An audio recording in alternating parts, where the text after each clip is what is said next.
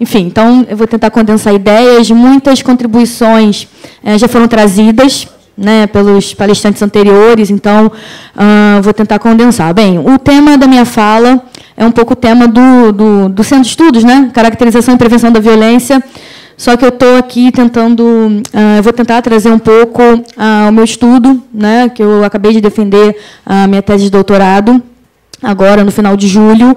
É, o tema da minha tese era exatamente caracterização e prevenção da violência no contexto brasileiro e contexto português. É, o meu olhar é, é, a partir do olhar da psicologia na escola, das equipes interdisciplinares na escola. Então, é um pouco isso que eu vou dizer. Ah, pode passar. É, um pouco contextualizando a minha fala, é, a minha tese de doutorado ela aconteceu no regime de cotutela, Fundação Oswaldo Cruz Universidade de Coimbra. A professora Simone é, eu fui a minha orientadora aqui na, pela Fundação Oswaldo Cruz, pelo IFF.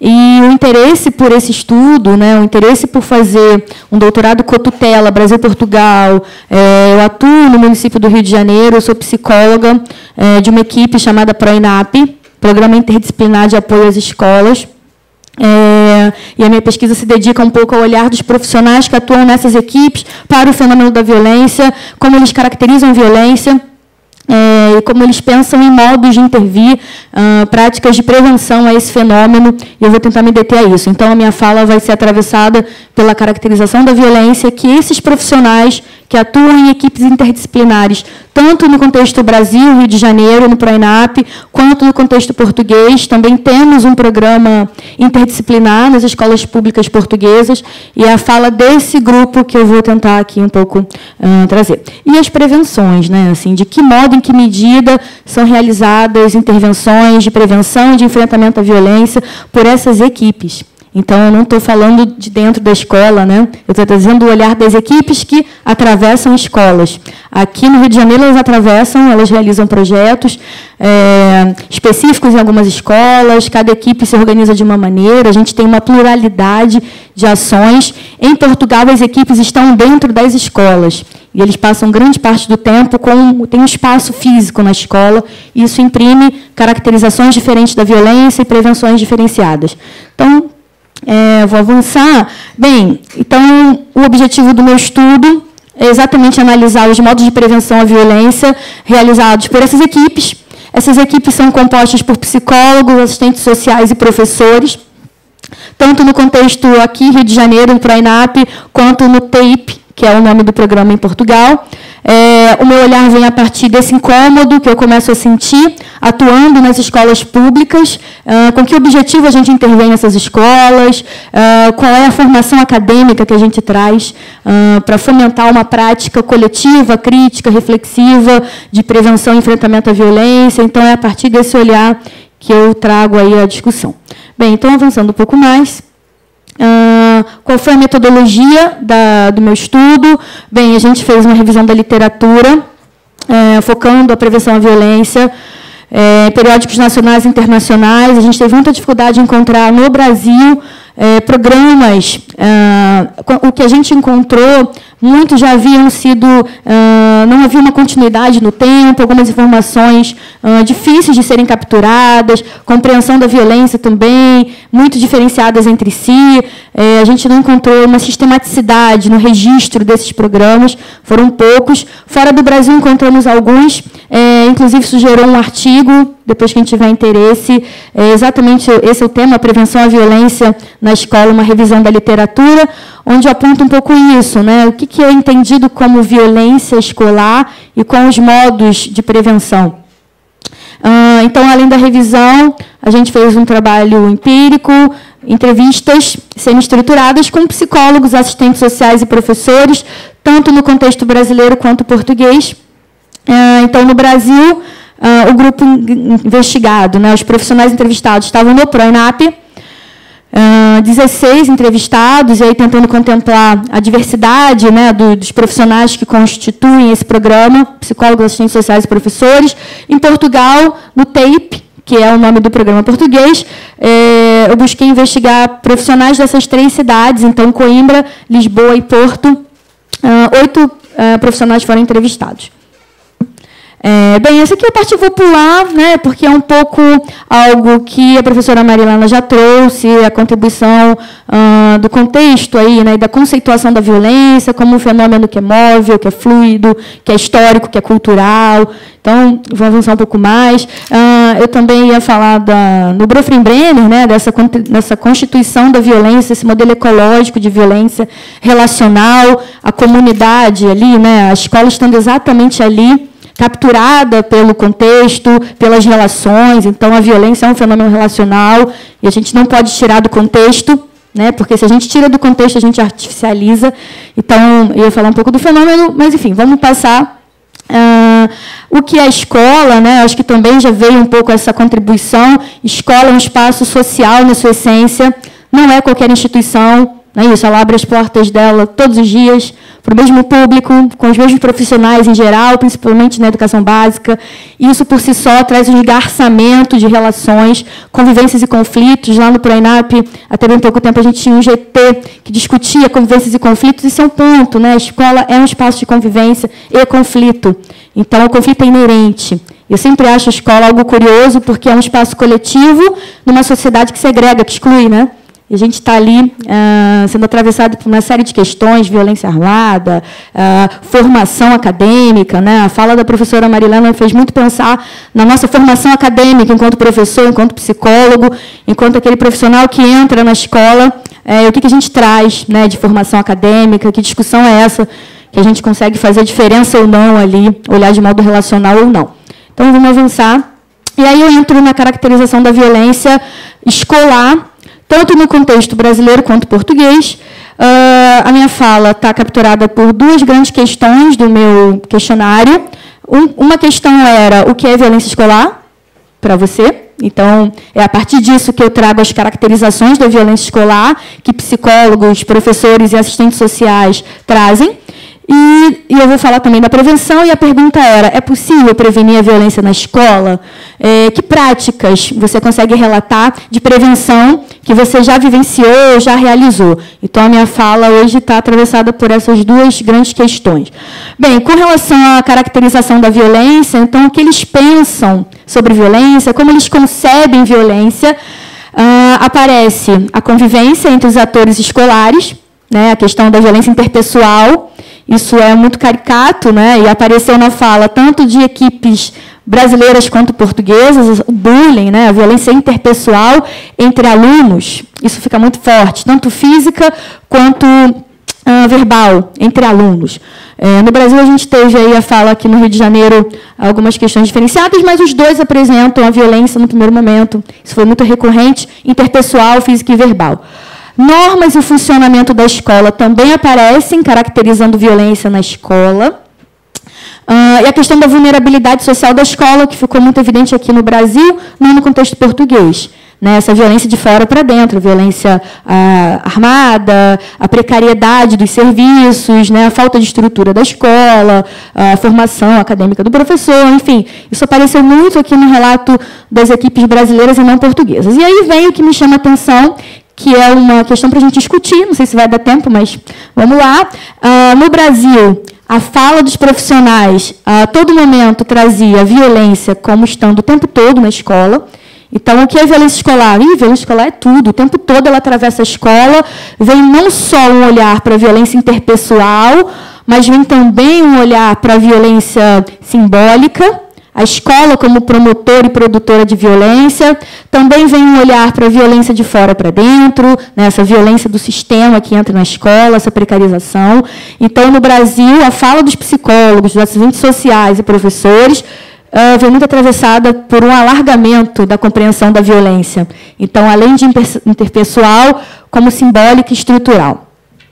Uh, em Portugal, a fala desses profissionais, dessas equipes, uh, em grande parte, grande maioria deles tratavam violência como algo residual.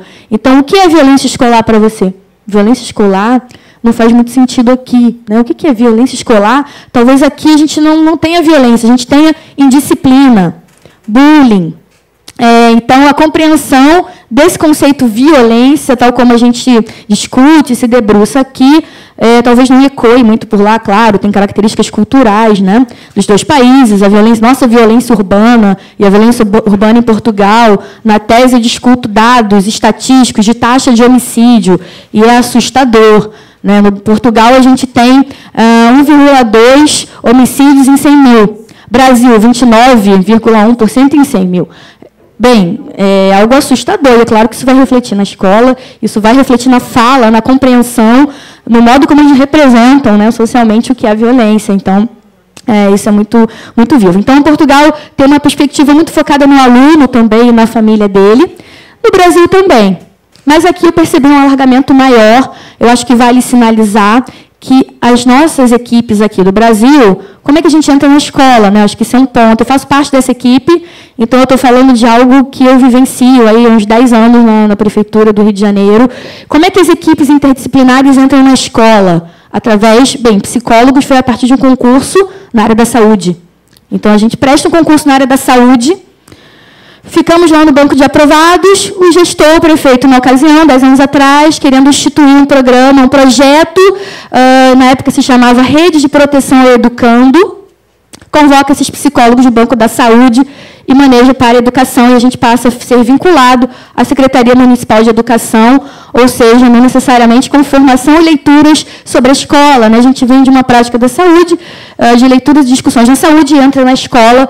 Acho que por isso talvez a gente também tenha uma concepção de violência, de aluno, de família, um pouco mais alargada, talvez, vai saber, mas pode ser uma pista aí. Mas vamos avançar.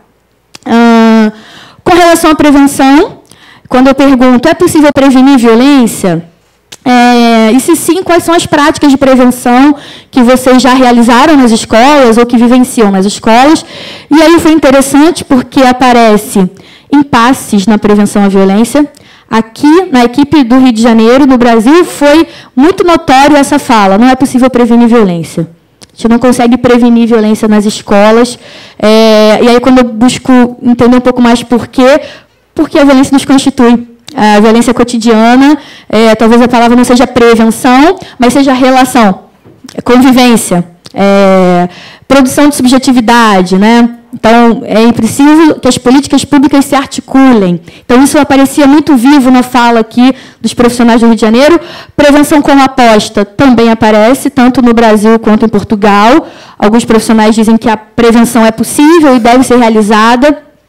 E as ações. E aí vem as ações, e é nesse ponto que eu acho que vale a gente colocar a lupa, que tipo de ações são essas realizadas e compreendidas como prevenção à violência.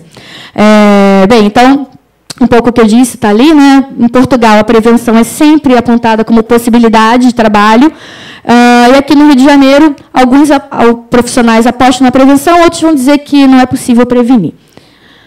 Uh, bem, aí eu relato um pouco as ações que eu fui ouvindo de prevenção é, e, a, e, a, gente se dedica pouco a discutir prevenção na educação, prevenção à violência. Né? É, acho que a gente poderia sistematizar mais, escrever mais. Eu encontrei pouca produção, por exemplo, por a INAP, é um grupo que tem uma estrada, e a gente tem poucas produções publicadas em periódicos científicos. É, a gente vai perdendo o que a gente faz, né? a gente não coloca luz nisso. E me preocupa. Em Portugal, achei muitos estudos publicados sobre o TAPE sobre o programa. E aqui poucos estudos publicados. Em geral, fica registro nas equipes. Né? Bem, então, em Portugal, ações de prevenção. E aí eu fui ouvindo ações permanentes e diárias com alunos e professores.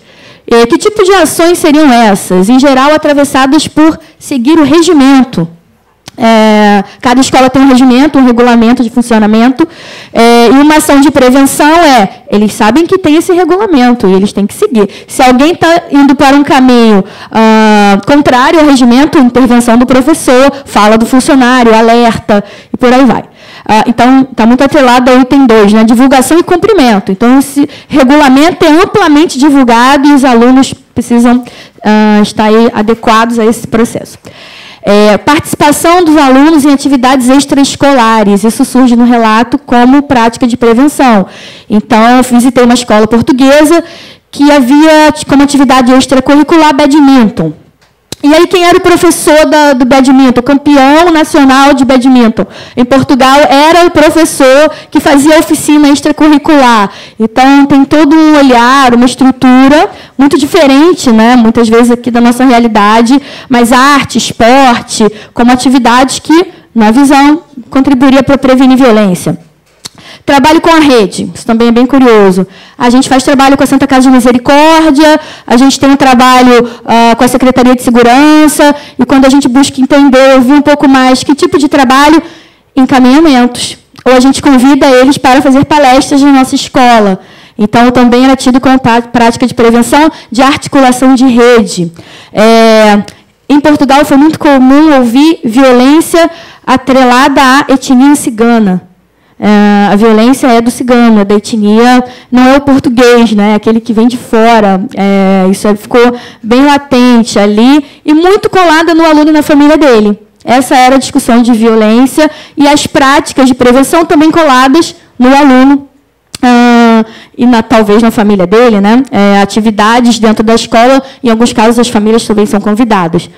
Vamos lá. É, no Rio de Janeiro, é, esses profissionais que eu conversei Algumas falas também vieram coladas nas ações, pensando a família e o, e, e o aluno. Né? Então, realização de oficinas temáticas com alunos, como uma prática de violência, discutir temas recorrentes ali do cotidiano escolar, rodas de conversa com direção e coordenação pedagógica. É, e nessa fala foi muito interessante, porque essas rodas de conversa tinha como foco pensar o excesso de transferências de aluno, de evasão, que é muito comum, e a escola nem sempre se dá conta disso. Né? É como se aquele aluno não é nosso, mas é um aluno que passou ali grande parte do seu processo de escolarização, é, mas a escola não reconhece, é poder colocar isso em análise. Né? Vamos olhar para esses alunos. A articulação da rede, isso também me chama muita atenção, porque foi muito diferente essa articulação de rede do que eu ouvi em Portugal. Por exemplo, aqui, articulação como discussão de casos.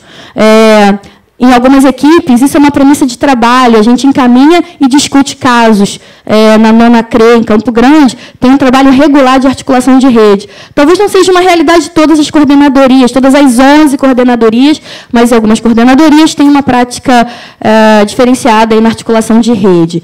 É, apareceram na fala dos profissionais aqui também perspectivas de prevenção. Por exemplo, o que seria uma prática de prevenção? Alteração das grades curriculares incluir na grade horário, tempo para discutir temas como racismo, homofobia, é, revisar a formação acadêmica do professor. Alguns professores que eu conversei falavam muito disso, que eles saem de uma formação, entram na escola e parece que, enfim, uh, algo, um toque de mágicas aconteceu, porque aquela realidade estudada não é a realidade encontrada e eu não sei o que fazer agora é, com essa escola, com essa realidade muito dura, né, que bate ali na nossa porta é, dos, dos, alunos, né? É um pouco a discussão da escola de hoje para uma formação antiga, para estruturas antigas é, nas escolas. Então, revisar a formação de professor para incluir essa perspectiva da escola como espaço sócio-histórico-cultural. É, avançando, é, o que eu fui tentando fazer ali no estudo? Pensar uma sistematicidade de prevenção. Então, será que aquelas práticas relatadas de prevenção estão de acordo com profissionais ou com a saúde pública que tem ah, já um caminhar né, com relação à prevenção à violência, com relação às caracterizações da violência e prevenção, fui tentando aproximar, né, buscar estratégias para compreender o que, que, poderia ser uma prática de prevenção interessante, é, alargada no tempo, sistematizada. E aí ah, me deparo com dois grandes relatórios recentes, um da Organização Mundial de Saúde e um da Organização Pan-Americana de Saúde, que se dedicam à prevenção à violência. Não no contexto escolar, no contexto da saúde pública, é, mas quando a gente vai se apropriar das estratégias de prevenção, talvez muito possa beneficiar nossas práticas de prevenção dentro das escolas. É, e é um pouco isso que eu vou apresentar a vocês. Uh, estratégias de prevenção que tanto a OMS como a OPS relatam como uh, interessantes para prevenir violência. Né? Então, os programas de prevenção à violência deveriam se dedicar a essas questões. Uh, então, desenvolver relacionamentos seguros, estáveis e protetores entre crianças e seus cuidadores.